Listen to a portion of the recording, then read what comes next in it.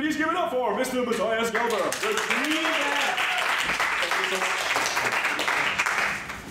Yeah, hi. Good evening to all of you. Hi. Um, it's nice to be here again. I was here a couple of days ago and we had a very green theme on. I don't know whether any of you attended the Awakening the Dreamer event. Yeah? Good? Good, good. That was very green. Uh, apparently my t-shirt is green as well. This is green actually. Uh, even though it might not look green, but uh, I don't know whether you can see it here. It's made from 100% recycled plastic bottles. I won't go too much into detail uh, about that subject, but my innerwear, or as we used to call it, underwear, is made from organic cotton. So I try and do as much as possible green stuff. Because we've got a problem on the planet.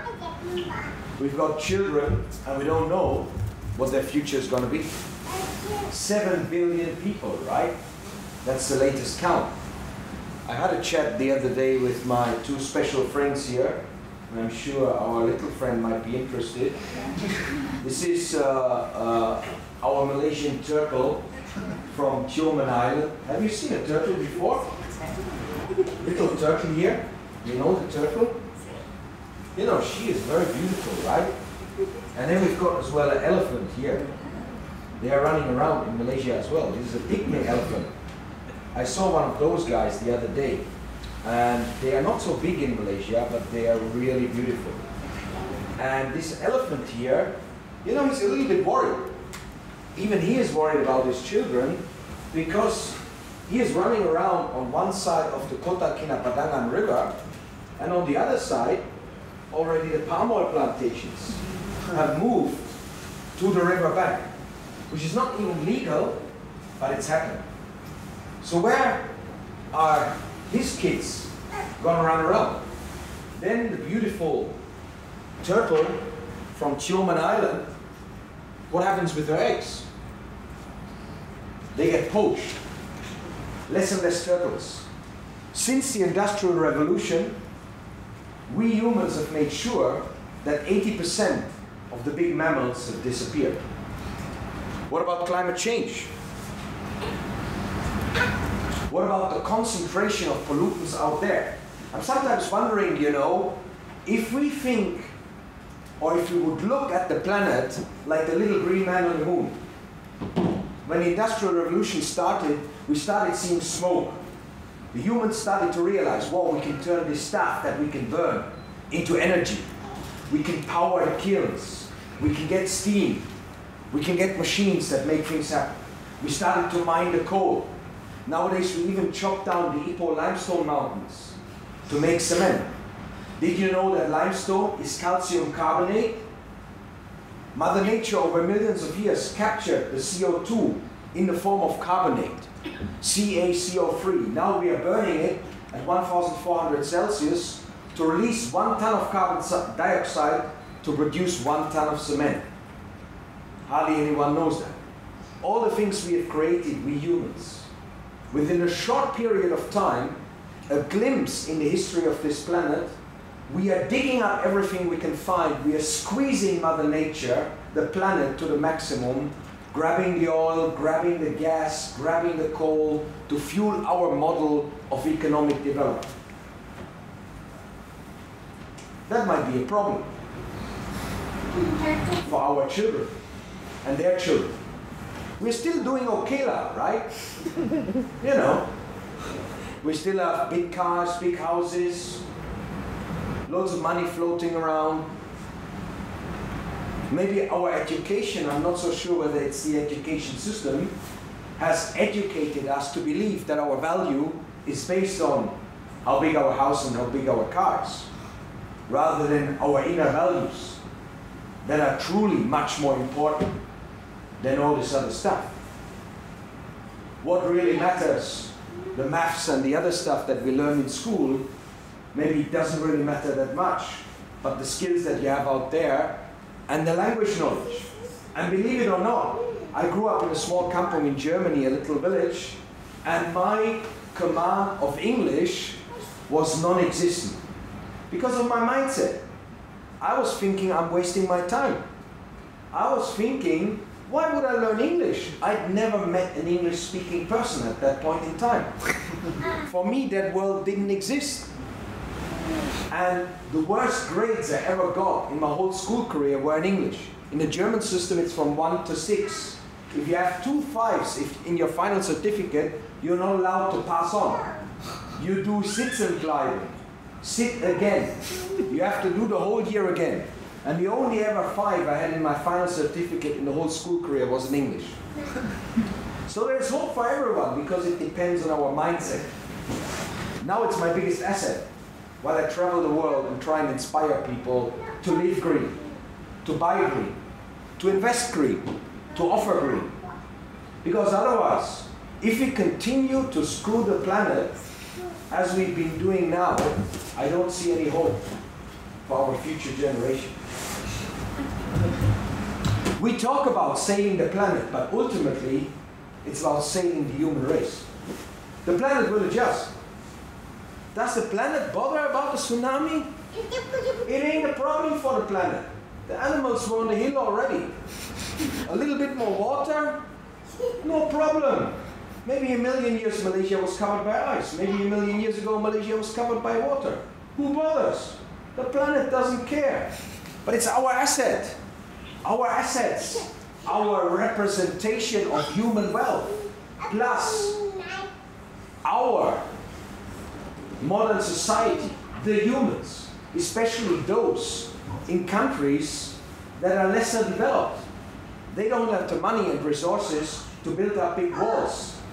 Like the Stern report that was done by the UK economist that was looking at how much is it going to cost us to adjust in 100 to 200 years times the effect of climate change.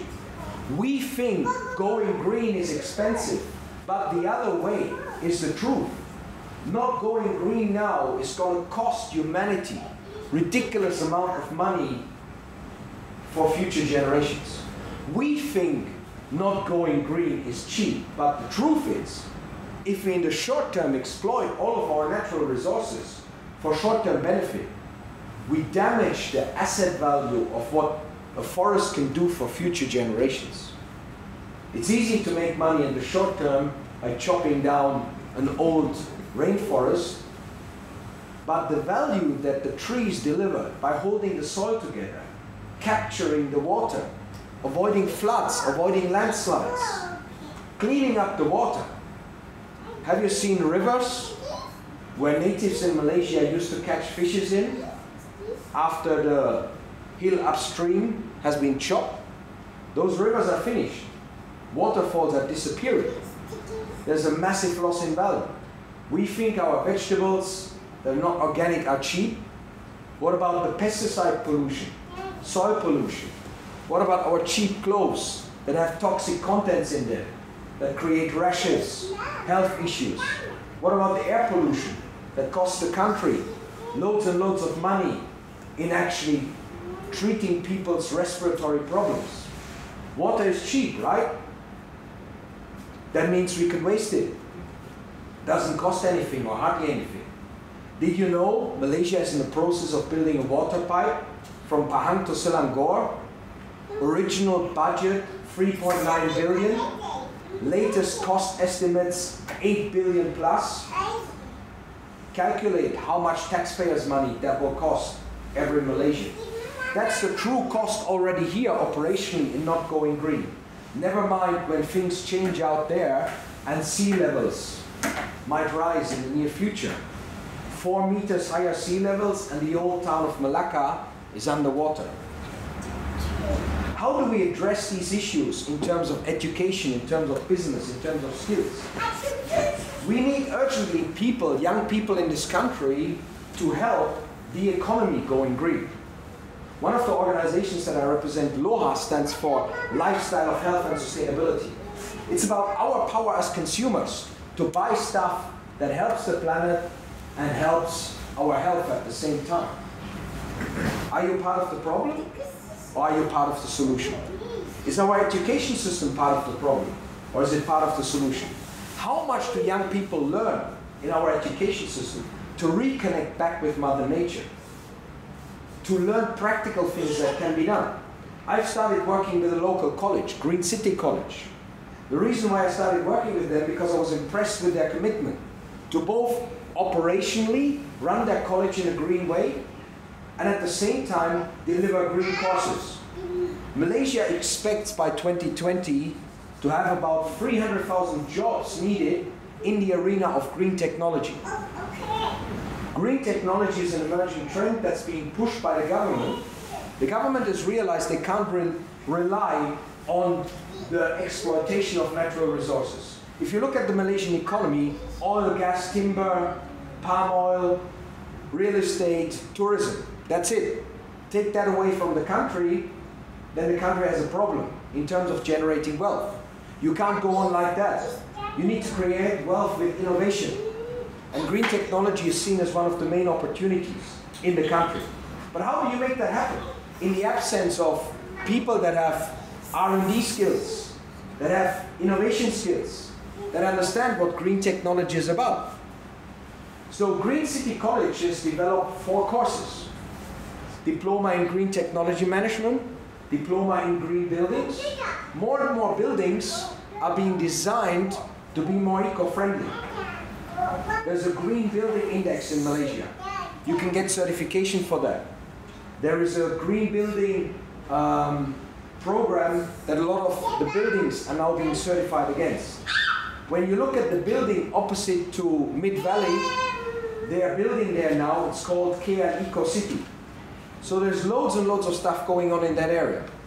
My friend Najib, not the one you're thinking of now. he studied in New Zealand. He came back two years ago. He studied green building design. His dad was very worried because his dad thought, you ain't gonna go get a job when you come back to Malaysia. He applied for eight different jobs. He got eight invites he got eight job offers. His friends who study what Malaysian parents think is the right way to have success in society, stuff like accountancy and all of these other boring subjects, where there are loads and loads of people out there that have been forced to study it because the dollar signs are up there in the eyes of parents and maybe in their eyes, but they have no, got no passion for the subject, no interest in the subject, but it's supposed to be a means to an end. His friend who did accountancy didn't find it that easy, just sending out eight applications, getting eight invites, getting eight job offers. The biggest problem Green City College has got at this point in time is to convince Malaysian parents that the passion of their children, that they want to do something good in their future, and for that reason they would like to get an environmental, a green tech education, that that is financially sustainable. I started a movement on Facebook called Eco Warriors Malaysia, a voluntary movement. We've done a lot of tree planting, recycling initiatives, stuff like that. Some of my eco warriors sometimes come to me and say, hey, I want to do green stuff. I want to do environmental science. I want to do green technology. But my parents don't allow me to because they tell me you're going to be poor all your life. that's the reality out there. So that's my question for you guys. How can we overcome that? There's a college there that's committed, that's passionate. They're investing a lot of money in getting these courses off the ground, but they're struggling to get students signed up, even though Malaysian youngsters are interested in going for it but their parents is the main bottleneck. Their parents, who they financially depend on, and to exercise their influence to tell them, yes, no, okay la, not okay la. so how can we overcome that bottleneck? The planet needs those committed people, and I've had several times Malaysian businesses approach me and ask me, hey, have you got these people already? We are looking for them. We are waiting for them. We want people with commitment in this area that are actually clued up on the subjects. The big trends are green building, renewable energy, as well more healthy food production. Biomass is a big issue. How can we turn all the biomass waste into valuable product? My business card, by the way, is made from waste material. No tree was chopped down. This stuff is available. Are you actually implementing in your lifestyle, with your purchasing power, with your consumption power, an attitude that is part of healing the planet? Or are you part of the system that destroys the planet? Thanks.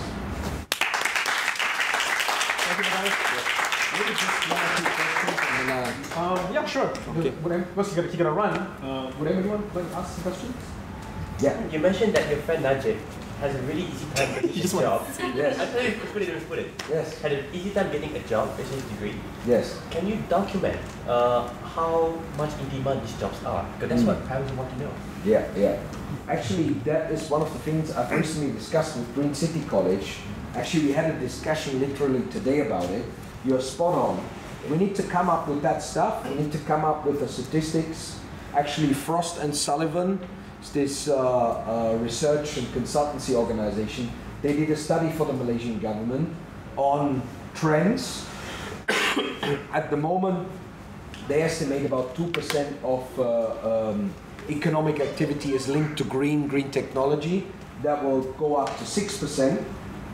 And um, I actually gave a talk on this uh, to some potential students, but not really a lot of them turned up, where I asked Najib to come in uh, and give a, a, case study. And we videoed him actually telling a story. But we need to uh, get the numbers. How many of these jobs are out there? Like I posted yesterday on my Facebook page, another Malaysian company, a printing company, they are looking for an eco advisor on how to make their printing process more eco-friendly and how to then sell to customers eco-friendly. So these jobs are starting to crop up and we need to document it and we need to give people a clear idea how much of it is out there. What, what are the job opportunities? I agree. I've got an interesting. Yeah. I mean, the education camp has been so interesting because when I bring different people coming in and stuff.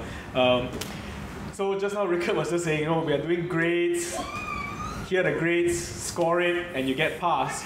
And then now there's this green building initiative, which is uh, again a certification process, which is also like a it's a, like a test. Um, and basically, you know, like like what Rickard was saying, tests are made to be cheated. Yes. And that is a problem right now as well because uh, my sister is actually a green engineer. Mm. She's a thermal assessment specialist in Australia. Okay. Uh, and, she basically got right into the thick of it. She's also part of the whole green certification, uh, green certification panel. Yeah. And she's basically saying that it's a problem because of the whole education, exam oriented industrial revolution thing. The green guidelines is just like an exam. Yeah. And she's basically saying that we are not doing enough. Yeah. We are still not thinking enough. Yeah, so you just build a green building, it's, it's gold certified, you get tax exam status. But I'm not saying that it's not a good step forward, but she's saying that, you know what, we need to do more. Yeah. You know, and, and she and, and and she saw like uh, she got a lot of job offers in Malaysia, but it was all again, I'm not discounting that yes, it must be done. Being green certified is still better than not being green certified. But she's basically saying that you know what, it's because of the whole exam and industrial thing, and we just need a certi- we just need a certificate, and the government is basically again just wanting to do that because hmm. it's still fueling the ignorance. That's what I think is the, uh, the, the, what, what my sister's trying to slap into my face and say like, you know what, you guys are like, you know, the speculators and the investors, yeah, we want to invest in green building now because it's going to cost, you know, it's going to appreciate more because there's tax laws and stuff. It is still part of like what Ricardo was outlining. Is is is is is, is, uh, Yeah. this is the product of the education system. Yeah, I mean, um, if we wait Yeah. till the underlying system changes, It's it's, going to be too late Yes. anyway. Yes. I would love us to all do barter trade, live from our locally produced uh, uh, food products that we grow in our backyard, and get rid of the whole financial system, and basically go back to basics, and uh, you know live in tune with the live in tune with the planet, create healthy communities, create uh, an utopia or a Noasia where we have a benign influence on the planet rather than a destructive influence on the planet. But we're not living in that reality. We have a machinery out there that exploits this planet, that squeezes everything out that it can get, you know, from the last drop Yes. that it can find. Yes. And within that reality, I need to make change by talking a business language. You know, I used to be running around trying to mobilize people, go green, live green. It makes zero impact in Malaysia. Switch I- your lights, yeah. hour, 60. I, I nowadays, yeah. I mean, I nowadays have to talk about, you know, how you can make money by going green. Otherwise, nobody listens. And, uh, you know, that is maybe I'm going back into the system. Maybe one day I go back to a revolutionary after I've made enough money in the system. But coming back to that essential point, Yes. the scoring system is powerful and dangerous at the same time you know, it creates an attraction for people to get their building certified. A And false, once you have that and a false attraction, sense of um, green. yes, yes and no, yes and no. Um, senior managers are willing to spend money on it Mm. because they want the badge. Yes. But I used to be a guru on environmental management systems, Mm. traveling around the world. Mm. I've been in 40 different countries giving talks on ISO 14001. But I stopped it at one point in time because, especially when I came to Malaysia, because it's just certificate hunting. And uh, even from a consultant's perspective, you know, uh, the, the money that people are willing to pay here for good advice is, is peanuts. So when you pay peanuts, you get a lot of monkeys doing the business. and, uh, you know, so there was no point. Or they'll ask you like, what's the bare minimum do I need to do yeah. to get the, to get this certification? Yeah. And you're like, And these systems don't work if you do it that way. Because you don't deliver any value. No. You just deliver paperwork. And I was a part of the committee that wrote the Yeah. standard. We tried to get rid of paperwork as much as possible. But the green building thing, Yeah. the most impressive green building I've seen in the region is a school in Singapore. They had not the goal to get certified, they got certified, but their goal was radically green, think out of the box, and save money. They, everybody thinks a green building is going to cost you more. You even have got tax incentives in Malaysia for extra costs that you need to spend to make your building green. Which predictably makes which it worse. predictably makes it worse. Yes. and then, you know, sometimes people actually spend more on more expensive stuff because they know they can get the tax rebate or other things happen. But if we look at one issue like solar, solar is expensive. There's no way out. The ROI is in the medium or long term. Yep. So, uh, but then is solar at this point in time the most cost-effective route towards renewable energy? That's another question. But coming back to this building in Singapore, their goal was um, as green as possible, as cost-effective as possible, radical new thinking. For example, their toilets are not inside somewhere in the darkness with a duct that's 100 meter long where you need to push in fresh air. Their toilets are outside. They took out the concrete wall and you've got the fresh air there and you look outside on the green. You don't need a duct that pumps in air or sucks in air out. And they saved on the concrete wall as well. And uh, their whole piping system is as straight as it can be. You can see it, it's everywhere. Uh, it's visually available. Normally it's hidden everywhere. For They cosmetic need- reasons, yeah. They need 20 horsepower pumps, other people need 50 horsepower pumps. So they've saved everywhere. Their construction cost was 7% less than a conventional building. Their operational costs verified, they've got all the data there, is 1.5 million ringgit cheaper to run every year than a similar building, similar size standard. So they actually were commercially hugely successful. They have a very healthy living climate. If you compare some of the toxic buildings that we have created with all sorts of nasty stuff inside, you go to Malaysian construction sites, you see bottles there that is being used as building material, no name on there, just a death skull symbol. That's what you can find, you know. We are actually damaging our health downstairs, you know. The guys there, Melaleuca. Yeah. I was here last Sunday. They are selling a product that's supposed to be increasing our health. When I walked along there, I could smell the toxic solvent coming from their building. Then I checked, yeah, the contractor had used the glue to fix the, the uh, some of the things there stuff, yes. with toxic solvent in there. It didn't say toxic on there, but it said on there, I even took a picture, it said on there, not to be allowed indoor unless it's very well ventilated, right? Contracted boy couldn't read. There we go. So So I need to know from you guys, how can we convince parents to believe in this new economy for the sake of their youngsters that are actually motivated to follow their passion and do a job that can deliver good and earn good money at the same time. So I'll, I'll leave. Sorry? You have to go to school. Would you, would you, have, would you be interested to come and speak to a group Yeah. of teenagers? there you go. Sure, at sure. school? Yeah, yeah, yeah. Are you from a school as well? Um, um, I have connections. That's good enough. Um, I, I, I can probably, I, I, you know, I, would- I would love to get you in Yeah. contact with them and then, Okay. you know, move from Yes. there. Yeah. Because that's, that's the key, isn't it? I It's think just the children, out there. yeah, part of it is the children. Because this is something that I don't think they're even remotely aware of as a profession. Yeah.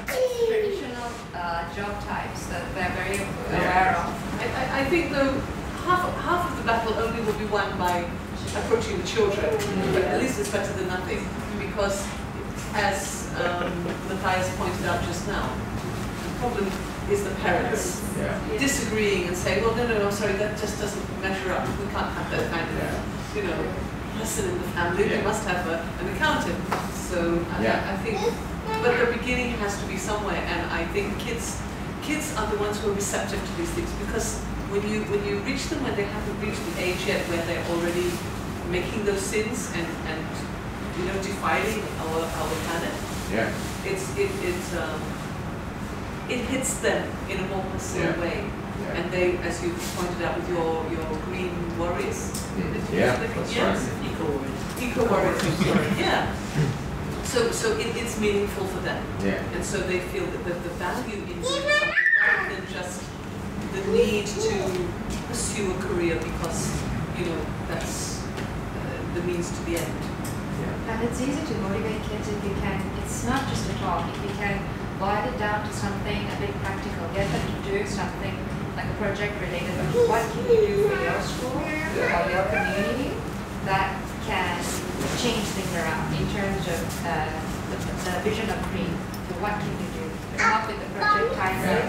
Kids love, so far what I've seen mostly uh, at this at school I work for is kids enjoy projects because they come from the Malaysian education system, it's an international school, so it's a new school. So they come into this environment, projects are brand new for them. The idea of presentation, doing things, creating things, it's brand new and then they love it. Yeah. They mm-hmm. thrive in it. So if, if, if you could like connect the dots, you know, the kids you, you do project and that's connected to the college and they get they get that connection. Mm-hmm. So where let's say the kids who showcase certain skills, Yeah. out of the box thinking, actually interested, passionate, Yeah. Can be channeled in through you know consultations with parents into the college. Right. Uh, so it's, it's something like that, that that I was thinking of when you were talking. Good. So you gotta, you gotta, we need your help. Yeah. Reach out to these fellas. Yeah. But but don't give up what you do with the with the business people and just Mm. just milk them all for all they're worth. Yeah, no, I, I, I try my best, you know. I'm Because because my sister basically said no, I don't I don't want to do that. She she she's gone back to Australia Mm-hmm. and she's working with the communities there to take it even further. She's basically said you know this this whole green certification thing is bullshit. We need to do more. We need to and, and we need to prove it. We need to show that Yeah. you know it's like what Ricard was saying the curve. And the whole green eco, everybody's like, yeah, yeah, yeah, eco, eco, eco, but everybody just want to stay around here. Okay, we're a little bit better than that. Oh, I'm not using plastic, but you know, on, on, on you know, like, like even school as, as well. On one end, they're doing eco awareness as an extracurricular activity, but in the meantime, I need you to buy 10 more exercise books, chop down more trees, I, and I need you to buy those textbooks, I need to wrap it in plastic Yeah, yeah. to protect it. Yeah. and it, Actually, to square the circle, Green City College, they've actually decided to deliver all of their education uh, through electronic means. They're the first college that have bought 100% recycled office paper from a friend of mine who's just brought it into Malaysia. And I'll actually be, I have a regular slot on breakfast television on TV2, Hello on 2. They always bring the Green Yeah. Man in Monday morning at 7.35. This week I'll be bringing Green City College in, so you can watch us on uh, TV2 Monday morning, uh, 7:35. And interestingly enough, on Saturday, I'm speaking at Fugee School, refugee school for Somalia kids. Wow. Deborah Henry, uh, Miss Malaysia World 2011, started that school. Yes. Uh, and uh, I'm speaking to them about the Okay. green economy and the green future. And I'm trying to drag them for a talk here as well. But Excellent. It's interesting. Yeah. How we yeah, it all connects. Ricardo wants to. Yeah, I want to add one uh, perspective from Mm. the dark side. uh, which is that when it comes to uh, ecology or green thinking, or even thinking about the future or anything, it has, it has to be founded on compassion and empathy. The problem is that the, the, for example, like the education system that I found now is actively working to take that out of kids. So, so, so, so they are doing it really effectively. I mean, the, the level of brainwashing techniques that they are applying is perfect. It's a hundred years of Yeah. improving it and iterating it. It's, I'm, I'm, I'm, Come on. actually impressed. Yeah, it is. Uh, so that is a problem because when you don't have empathy and compassion for your peers or for your future self, it's really hard to grasp these kind of concepts. If you don't have empathy and compassion, this is like it's like trying to explain quantum physics to a dog. You know, it's like, nice try. You know, it's, it's conceptually really hard to understand. And so, so that is also one of the reasons why I think we need to really change not only what kids learn, but how they learn it, how they relate to each other. And that is a very, very big question. Uh, and it's really hard to change. We need more hours in moral. Write an essay on empathy. Okay, uh, I was, I was kidding. this is interesting because I wanted my daughter to become a green engineer. Wow, Yeah. wow. Um, He wanted, he wanted that. She wanted to become a painter and she got no, she's she's halfway through medical school.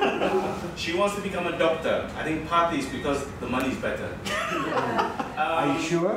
Are you sure? From, from, the, from the father. No, I think I think in one way yes. In one way, the traditional parent will say, you know, go where the money is, kind uh, kind of thing. Know, the the professional doctor, lawyer, and so on. I think the other thing about uh, about what you said, um, are we living to preserve the planet or to destroy it? And that's something that I think we're not. Um, we may be aware of it, but we're not living it out. The kids see us mommy, daddy doesn't make any impact on them, why should it, you know, be different from me? Um, they don't take it, they don't have the empathy because they don't see it around them. They don't see it in their parents. So a lot of it is like, you know, we want our kids to be something, but we are showing them the complete opposite of what we want them to be.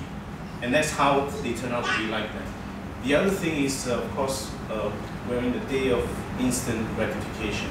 A lot of kids, everything is instant.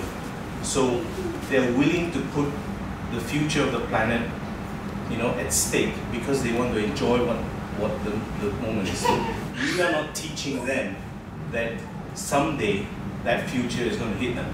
Um, but to most people, like you say, everything is fine. You know, the sea, the sea is still green so far, or blue. Um, so we're not worried. I think that's those those are the th- those are the things that we have to look at. Um, and I think the fingers still pointing back at us um, as parents. Awesome. Great. Thank you. Thank you, Matthias. Thank you. Thank you. I'll just